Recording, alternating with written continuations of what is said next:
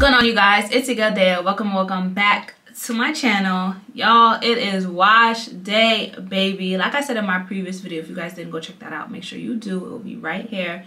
It's wash day, y'all. My hair is over freaking due for a wash, for a shampoo, for a deep conditioner, for a conditioner, for a twist, for everything for a comb for a brush.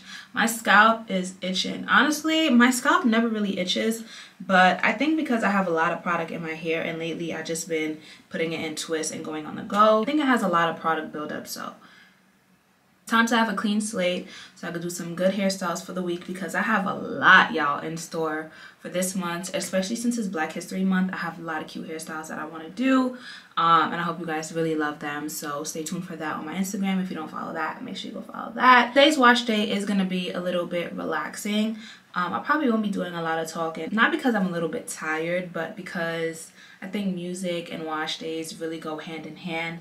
And I am going to be doing a twist though. I am going to be bringing back the products that I used previously when I first did my wash day on this channel. A product that I was using very, very often, especially since I transitioned to being natural. Um, if you guys can guess, make sure you comment down below. But if you don't know, it is Aussie Moist. I don't know why I abandoned Aussie Moist, honestly, but listen, y'all.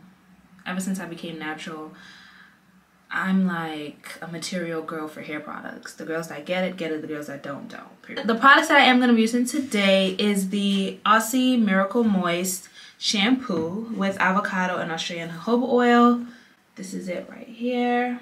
And then next I am going to be using the Total Miracle 7-in-1 conditioner. It has apricot and Australian macadamia oil. Following up with that, I am going to be using the Aussie 3 Minute Miracle Waves Deep Conditioner with Kakadu plum, I don't know if I'm pronouncing that correctly, and Australian hemp seed extract. And it is also paraben free. And last but not least, but not last on the list, I am actually going to be doing this first. I am going to be pre-pooing, not pre-pooing, but I'm going to be pre-detangling my hair with a conditioner. So let me take down my twist because my hair was in twists and then I actually put it in two big twists. So this is exactly what my hair was looking like. Oh my god, this one is unraveling, but it's okay because we about to wash our hair anyway, child. So this is what my hair is looking like right now. Just some twists that I did the other day. But we're gonna start off with this conditioner. Don't forget your water. Let's get into it.